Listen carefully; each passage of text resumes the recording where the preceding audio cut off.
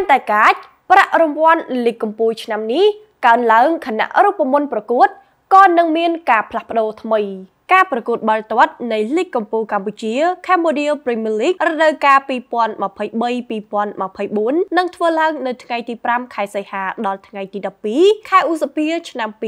2024ខាងមុខនេះតទៅខណៈដែលប្រាក់រង្វាន់រដូវកាលថ្មីនេះក៏នឹងទទួលបានច្រើនជាងឆ្នាំមុនមុនផងដែរសម្រាប់ក្រុមម្ចាស់ជើងឯកនារសៀលថ្ងៃទី30ខែមិថុនាឆ្នាំ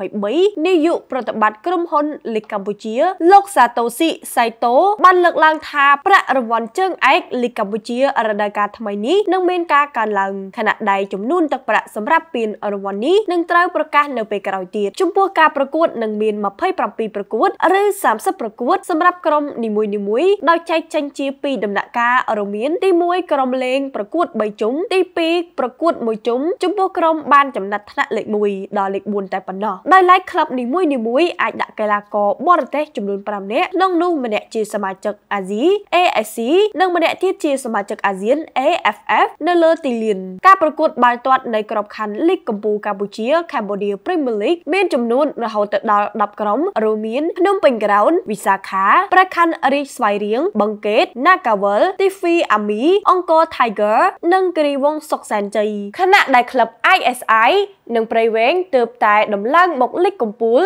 នៅក្នុងរដូវកាលថ្មីនេះប៉ុណ្ណោះ។